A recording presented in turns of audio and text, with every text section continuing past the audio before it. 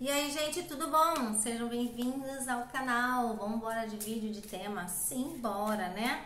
Se você gostar da proposta do canal, se se identificar, se inscreve, deixa o like, seu comentário, né? Como eu sempre gosto de falar.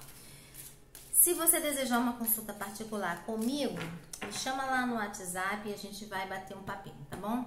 E eu vou passar as informações, os preços e aí você toma a sua decisão. Vamos lá agora.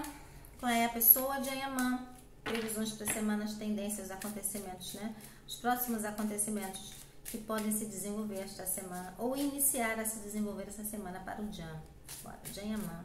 Energias da semana, acontecimentos da semana para o Jan e Amã. Vamos ver qual o arcanjo que vai responder. Vamos lá. Uau, arcanjo Miguel, Miguel, Miguel, proteção, muita proteção. Nossa, nossa muito querido, muito amado.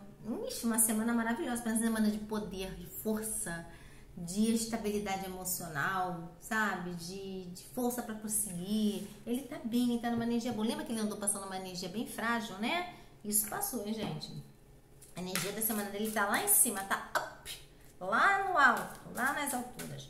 Vamos ver pra vida, pra, pro profissional dele, vamos ver as tendências da semana profissional, o que pode acontecer.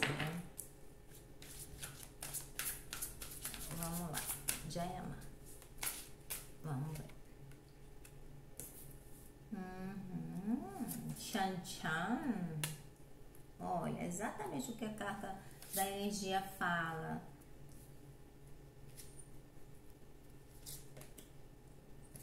Nossa, gente, olha, ele muito satisfeito com o andamento do trabalho dele. não sei se ele já está terminando de filmar o turco, tá? Ele bem feliz com o resultado do trabalho dele. Então eu diria que é uma semana aonde ele vai ser muito elogiado, onde ele vai se sentir no mar, lá, lá, lá no alto, tá? Isso que fala do poder aqui do Arcanjo Miguel. Ele tá, tá muito bem, é como se é, depois de uma tempestade aí ele conseguiu ou tá conseguindo dominar a situação do profissional dele, tá? Muito sucesso vem para ele aí, tá, gente? Ele tá bem feliz. Bem feliz com os resultados dos trabalhos ou das propostas novas que tem chegado aí para ele. Vamos ver na vida amorosa? Janyaman e sua vida amorosa. O que virá nessa semana? O que pode desenrolar? Página de copas. Hum. Vamos lá. Note paus.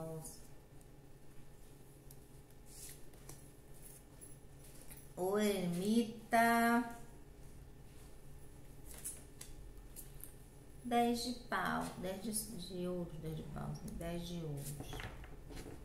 O que, que a gente pode falar, entendeu? Olha só, gente. É, ele, é uma semana que ele não tá querendo se iludir muito com essa coisa de amor. Ele quer ficar sozinho, tá? Ele quer ficar na energia, no conforto, é, da, da solidão dele, né? Da, da, solitude. Não é solidão, ele quer ficar na solitude. Ele tá bloqueando. O nome de Paulo fala de bloqueio. Bloqueando paqueras. Tem muita gente paquerando o Jayaman, tá? Ele tá sendo paquerado. Acho que ele tá sendo assediado aí mais de perto por alguém, tá? Mas ele não tá querendo muito, não, tá? Ele tá querendo ficar na dele, ó. Eremita, na solitude dele, tá? curtindo as coisas deles, curtindo a família, os amigos. Ele não tá ainda, não se sente preparado para um relacionamento. Mas não é, não é, não é um, um, um objetivo dele. Então ele prefere ficar na solitude. Ele não está dando muito bola para alguém que é que tá aí de paquera. Tem uma paquera aí, tem alguém aí jogando, né? Se jogando aí pra cima de Jaima, mas já não tá querendo muito não. Ele quer ficar sozinho. Olha, observe que ele de costas pra isso tudo, eremita, né?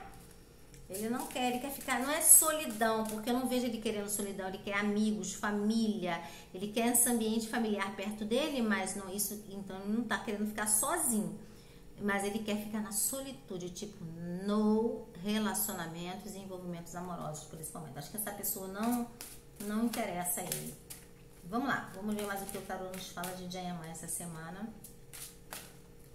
Ele tá muito no controle da situação da vida dele, tá? Tanto da carreira quanto do amor, tá? Não quer envolvimentos amorosos, pelo menos não agora, pode ser que daqui a um mês mude, mas não, não agora. E aqui fala também de alguém que tá de olho nele, mas ele não tá afim não. Ele tá afim de ficar sozinho, na solitude dele. I want to be alone. Por favor, me deixe em paz. Ai, gente, deve ser chato ser gostoso, né? Vamos ver mais o que.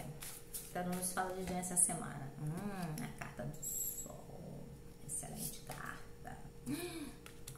Uau, olha, duas cartas maravilhosas. Hum.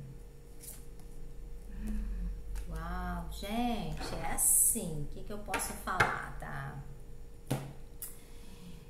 É um novo ciclo iluminado para o Jan. Eu vou, vou puxar para cima porque eu já vi que vocês não estão vendo, tá? Um novo ciclo iluminado, a carta do Sol. A carta do As de Pau também fala disso, é início novos inícios, tá?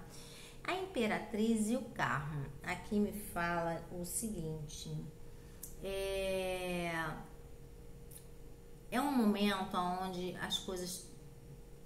A Imperatriz ela vem depois da carta da papisa. A carta da papisa é a interiorização, é estar fechado. Então agora é como se ele visse e, e, e, entendesse que as coisas estão florescendo, que a coisa agora, o caminho dele está. É como se tivesse passado um grande obstáculo, uma grande interiorização e conseguido vencer, saiu vencedor de uma situação. Então, um ciclo iluminado, uma semana iluminada. Por isso que fala aqui o arcanjo Miguel, né, como energia, é, trazendo para ele. É, é, poder, segurança, estabilidade, ele sendo, ele sabendo o que ele quer, no poder e na direção da vida dele, então uma energia de força, uma energia de centro, uma pessoa centrada que sabe o que quer, então nada vai tirar do eixo o seu Jayaman nesta semana. Ótima semana pro Jan, sabendo o que quer, não tem romance, gente, não vejo ele envolvido com ninguém, tá? Vejo ele sim muito satisfeito aí com as coisas que ele vem fazendo no trabalho, tá bom? Beijos. Tchau, tchau, gente.